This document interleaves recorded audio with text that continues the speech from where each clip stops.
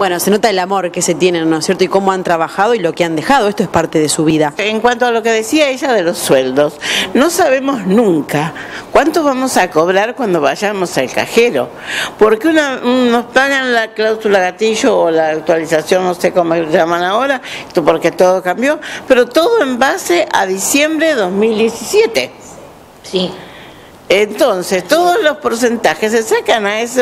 Y entonces nunca sabes cuánto vas a cobrar, ni cuánto eh, este mes, ni el mes que viene, si vas a cobrar más que el anterior. No tenemos, antes yo me acuerdo, con, yo conversábamos con Hilda, yo me acuerdo que me sentaba y te sacaba el sueldo que ibas a cobrar, pero por ahí me equivocaba en monedas.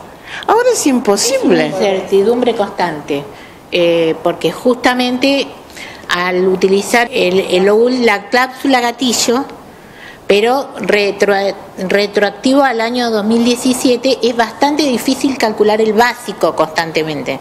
Eh, ¿Qué esperan ahora, por ejemplo? Eh, ¿Están en alguna instancia importante en la que deban cobrar tal vez algún premio, alguna cosa que los pueda ayudar a paliar esta situación? No, los maestros no entraron en este aumento que van a dar ahora. Somos los únicos que no hemos entrado porque tenemos otro, otra ley, estamos en otro sistema prácticamente. Por eso la FEB sigue reclamando constantemente ahora estos días eh, porque no hemos encuadrado en ninguno de los paliativos que dijo el gobierno actual que iba a dar. Bueno, la verdad que lamentamos que pase esto y esperemos que todo se pueda realmente eh, solucionar para todos, no solamente para la educación, para las docentes, sino también para, para otros trabajadores. Principalmente cerrar las paritarias y saber que a partir de ahí vos tenés tu sueldo. Pero en este momento las paritarias no se han cerrado, no sabes cuánto vas a cobrar, no, es esa incertidumbre que no podés tampoco planificar tu vida, aunque no la puedas planificar demasiado por el valor del dólar, porque todos los días aumentan las cosas, pero tampoco podés planificarlo porque no sabes cuánto vas a cobrar. Es justamente eh, nosotras aparte participamos de la mesa intersindical, es donde decimos que tenemos que estar más unidos todos los trabajadores eh, en esta lucha constante para poder defendernos. Eh, vos te habrás enterado de, todas las suspensiones que vienen habiendo últimamente.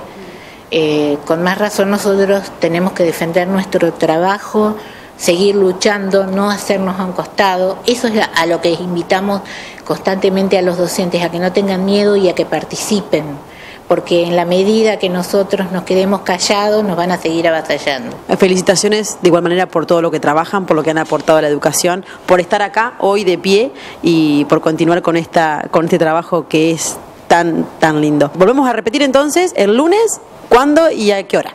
El lunes 2 de septiembre, eh, a partir de las 9 de la mañana, estaremos acá haciendo la inauguración oficial con el vicepresidente y nuestras queridas este, Alicia e Hilda. Muy bien, entonces los esperamos a todos. Muchas gracias. Muy bien, muchas gracias. Eh.